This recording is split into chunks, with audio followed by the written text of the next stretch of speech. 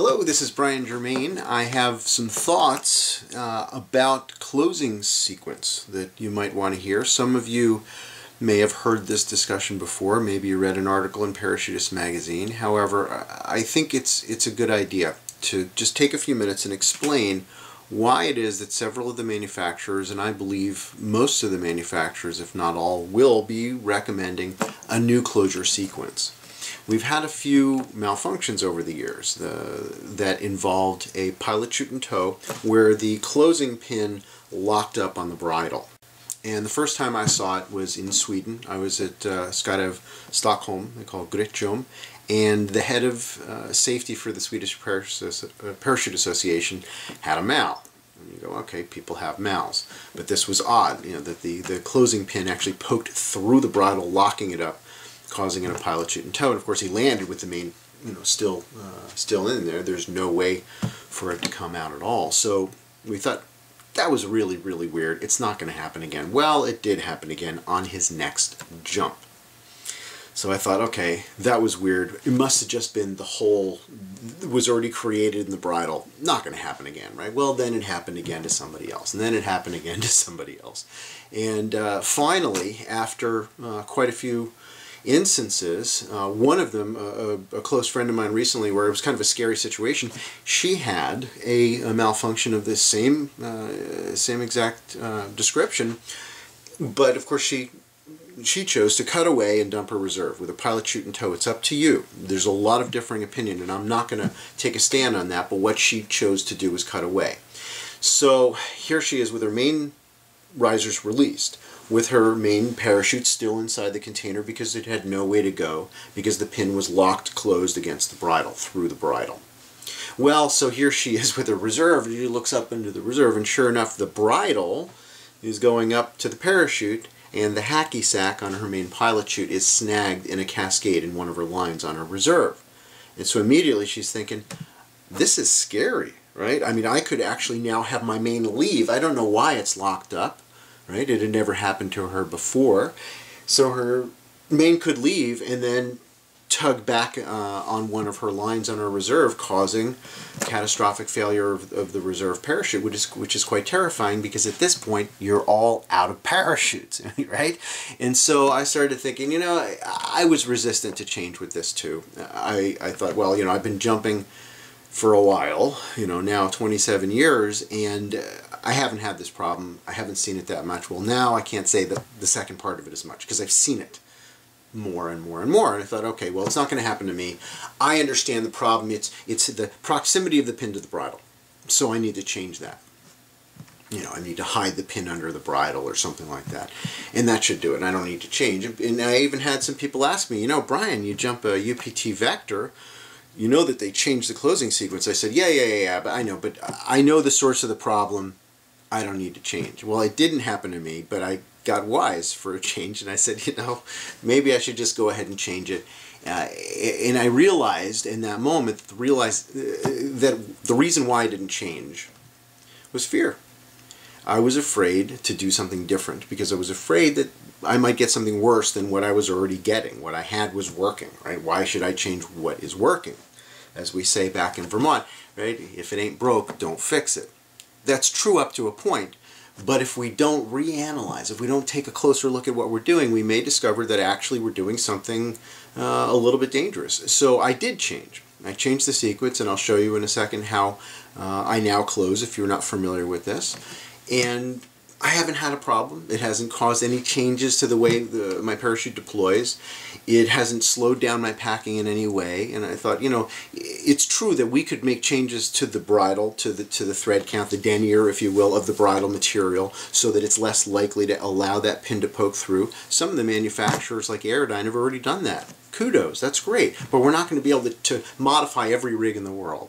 So the reason why I'm making this short video is to show you and maybe uh, sort of make this compelling argument. It's not going to hurt anything to make the change, so why are you resisting the change when you know that it's going to reduce your risks? A pilot chute in tow is not often a fatal malfunction, but it, you know it can be, so why do something that you know is dangerous? So try it out. You know, if you don't like it, fine. It's your choice. Uh, you're the you're the pilot of your system. However, it makes sense to me. So uh, let's take a closer look at what we're talking about here. Okay, let's take a closer look at the way that most rigs are closed. And of course, let's uh, double check that my pilot chute will come out by the bridle. Hey, look at that. Yeah? So if you don't know what I'm talking about, take a look at my other video uh, about pilot chute packing, the secret to pilot chute packing. Well, when the rig is closed, typically you'll see the bridle comes down from the top and then tucks in. And I know uh, it's not all that easy to see here, but basically this new method allows you to make the bridle so distant from the pin that there's just no way to have that bridle hang up on the pin. So um, basically what it means is your bridle now comes out the bottom right and in the closure sequence it doesn't change much. The only thing it changes is people say, well, I have this nifty Velcro, you know, and I, I gotta get this Velcro stuck on the rig because if I don't have the Velcro on there, I, well, uh, I don't really know what the Velcro is for, but it scares me to change it. Well, it turns out that as long as you uh, close it this way, you won't have a problem, even though you're not using the Velcro. If you come out the bottom right, on any rig, and I've tested it on pretty much every rig, and obviously it's always a good idea to check with the manufacturer uh, of your harness container system if you're going to do something other than what the, the their uh, normal closure sequence is. However, just because we used to do something a certain way doesn't mean that we're going to continue to do it, right? I used to have my reserve parachute on my belly. right, so things change, and this is one of those things. Don't continue to be afraid of change. We invite danger through ignorance, closed-mindedness. Right? That's that's the consequence of fear is people not thinking with their heads. So it's not that complicated, was it? It didn't take me any longer. I just went out the bottom right. I went to the pin. I tuck everything in, and it doesn't even have to be that pretty. We know that the first load strike will be on the bridle that goes straight to the pin, right? So there's not any risk of hang up here. And then you tuck the bridle in, and you pack your pilot chute. it's, it's not that complicated. It's you know, and so if you're you're one of the thousands of people who continue to do it the old way, I'm hoping that you'll get a chance to watch this video and say, all right, you know, I'll try it.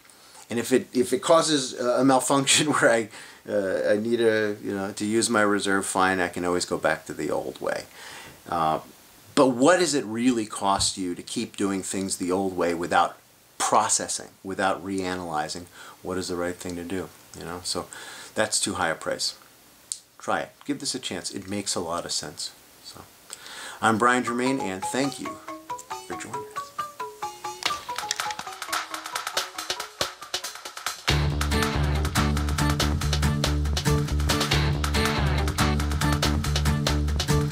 got to make your bed every morning.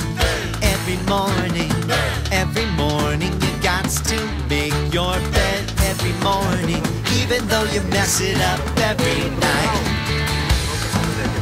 You got to brush your teeth every single day. Every single day. Every single day. You got to brush your teeth every single day. Even if it's just before your next bite. We've got to live every moment, give every moment, do our best to enjoy every moment. Don't live for tomorrow, the past we cannot borrow. We live for today.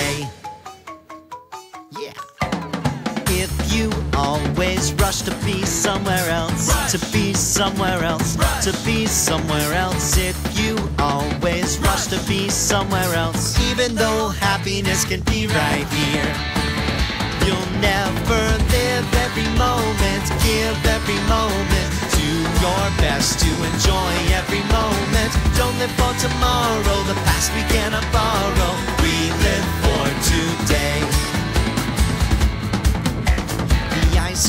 Tastes so cold, sweet and yummy. Sweet and yummy. sweet and yummy. The ice cream tastes so cold, sweet and yummy. Even though soon it will be all gone.